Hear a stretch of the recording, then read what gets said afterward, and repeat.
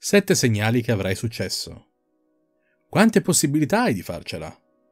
Con quale probabilità avrai successo? Dopo aver intervistato e incontrato centinaia di amministratori delegati, atleti, celebrità, alcune delle persone di maggiore successo del mondo, mi sono posto la domanda. Qual è il successo dietro all'uomo di successo? Sono sempre stato affascinato dalla mentalità di coloro che ce l'hanno fatta, la loro disciplina, la loro concentrazione, il loro sangue freddo di fronte alle difficoltà. Cosa li rende diversi? Queste non sono teorie, questi sono segnali. Vediamo tu quanti di questi hai commentando qui sotto. Benvenuto in direzionecrescita.com, il primo canale di crescita personale in Italia, dove ogni giorno vieni guidato verso il raggiungimento dei tuoi obiettivi. Se ancora non lo sai già iscriviti ed attiva le notifiche così da rimanere aggiornato su ogni nuovo video che pubblichiamo. Segnale numero 1. Le persone di successo hanno grandi abitudini. Le persone che non hanno successo invece hanno abitudini pessime, come fumare, bere, drogarsi, guardare troppa tv. Vedi, le persone di successo sono dove sono oggi grazie alle loro abitudini. Determinano il 95% del comportamento di una persona. Tutto ciò che sei oggi, tutto quello che realizzerai in futuro, è determinato dalla qualità delle abitudini che hai.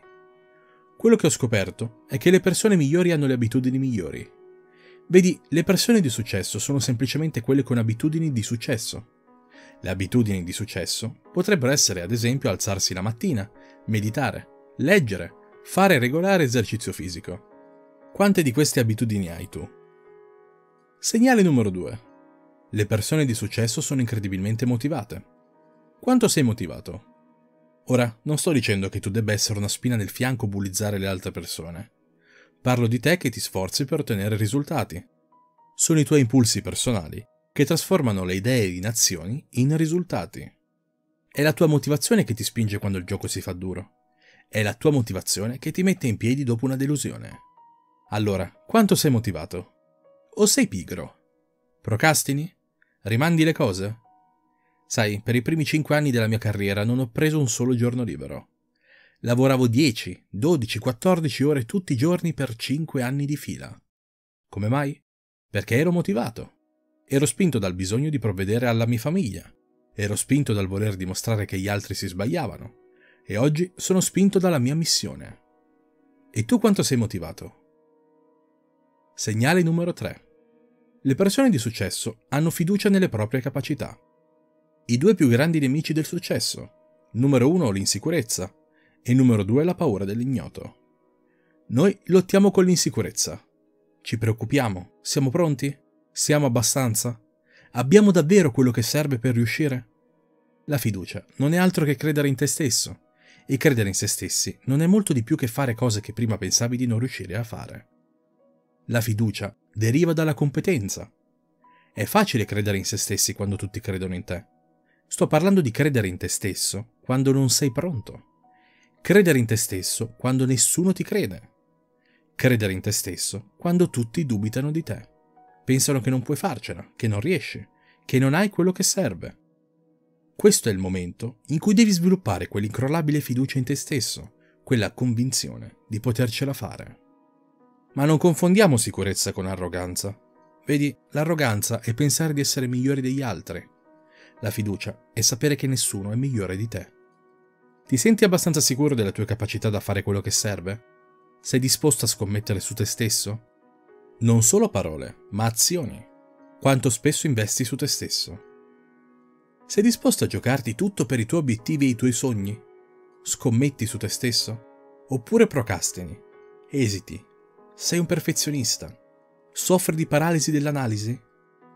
Potresti avere le idee migliori e le idee più brillanti del mondo, ma se non riesci a sviluppare quelle idee, non sai come comunicare quelle idee ad altre persone, non andrai da nessuna parte. Le capacità di comunicazione si presentano in diversi modi. Ad esempio scrivere loro delle email, o scrivendo sotto i loro posti sui social media, o andare a quell'incontro, o parlarci uno a uno, parlarci al telefono, o anche parlando a grandi gruppi di persone. Tutto ciò rientra nella capacità di comunicazione. Quindi tutte le persone di successo hanno questa cosa in comune, la capacità di influenzare, persuadere e ispirare altre persone. Segnale numero 5. Hanno una mentalità di crescita. Mark Cuban legge tre ore al giorno. Bill Gates legge almeno un'ora al giorno. Io leggo due o tre libri a settimana, da anni ormai, e ancora imparo cose nuove costantemente. E non parlo solo della lettura dei libri. Potrebbe essere l'ascoltare un podcast, parlare con altre persone di successo, essere seguito dai tuoi mentori. Ma le persone di successo stiamo sempre a imparare e crescere, senza pause. Una volta chiesi ad una persona di successo se volesse pranzare con me. Ha avuto molto successo per parecchi anni, e in mezzo a fusioni e acquisizioni. Ha avuto diverse compagnie ad una così giovane età. Quando ci siamo seduti, eravamo uno di fronte all'altro, e abbiamo pranzato, la prima cosa che fece è tirare fuori un taccuino e prendere appunti. E ha iniziato a farmi domande, imparando. Ero io quello che voleva imparare da lui, ed invece è diventata una sessione di apprendimento, lui che impara da me.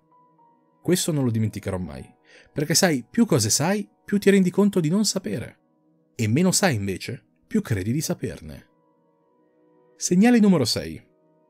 Le persone di successo imbracciano i fallimenti. Tu imbracci i fallimenti? O li prendi sul personale? Vedi, le persone di successo sono ridicolmente positive riguardo il loro futuro. Ne parlano sempre in modo positivo, come stanno andando le cose, come se ci fossero già arrivati, anche se non c'è modo che possa succedere. Credono in loro stessi, hanno aspettative positive sul loro futuro. Walt Disney è stato licenziato dagli editori dicevano che non aveva immaginazione né creatività.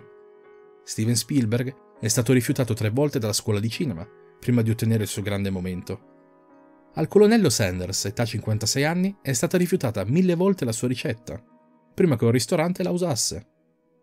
Ti accorgerai che le persone che hanno avuto il miglior successo sono anche quelle che hanno fallito più di chiunque altro. La vera differenza tra una persona di successo e chiunque altro non è una mancanza di forza, e nemmeno una mancanza di conoscenza, è una mancanza di volontà. Winston Churchill l'ha detto meglio. Il successo passa da fallimento in fallimento, senza perdere l'entusiasmo. Prendi ad esempio le vendite e le chiusure. I venditori di maggior successo, gli agenti di successo più pagati del mondo, indovina un po', sono quelli che al giorno vivono i rifiuti più di chiunque altro. Ed è questo che gli spiana la strada per il successo. Il fallimento è ad un passo dal successo. Segnale numero 7.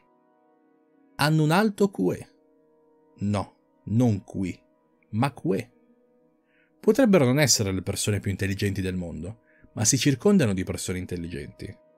Potrebbero non essere i migliori studenti del mondo, ma tuttavia dimostrano un'alta intelligenza emotiva. Quando si tratta di successo, il QE mangia il QI a colazione. Diciamo, il QI per lo più è genetico, ci si nasce. Tuttavia il QE potrebbe essere sviluppato, appreso e perfezionato. Le persone di successo hanno un alto grado di intelligenza emotiva, il che li porta a non spezzarsi quando sono sotto pressione. Mantengono la calma, sanno come affrontare lo stress, sanno come affrontare l'ansia, anche quando le cose non vanno come vogliono. Le persone di successo sono anche molto consapevoli di sé, nel senso che sanno in cosa sono capaci, in cosa non lo sono, quali sono i loro punti di forza e quali i loro punti deboli. Sanno gestire le loro emozioni e si rifiutano di sentirsi inadeguati, risentiti, delusi, quando il fallimento inevitabilmente li colpisce. Insomma, quanti di questi segnali hai tu? Qual è la probabilità che avrai successo? Se hai alcuni di questi segnali, congratulazioni, le probabilità che tu abbia successo sono piuttosto alte. Se hai tutti questi segnali, invece, allora le possibilità sono molto, molto più alte. Se non ti rispecchi in queste attitudini o non riesci a trasformare le tue attitudini in progetti pratici, è necessario che tu abbia il controllo assoluto sulla tua mente, ed in particolare della parte di essa che non controlliamo consciamente e che determina il 95% delle nostre azioni. Se sei interessato, clicca qui in basso per richiedere una consulenza uno ad uno, per essere seguito con metodi e strategie più avanzate, oppure iscriviti e consulta gratuitamente le centinaia di video lezioni che trovi su questo canale. In entrambi i casi scoprirai che si possono fare salti da gigante, applicando le giuste tecniche con costanza ed impegno. Ricorda, se non sei tu a pianificare il tuo successo, stai andando incontro al tuo stesso fallimento. Per questo video è tutto, a presto!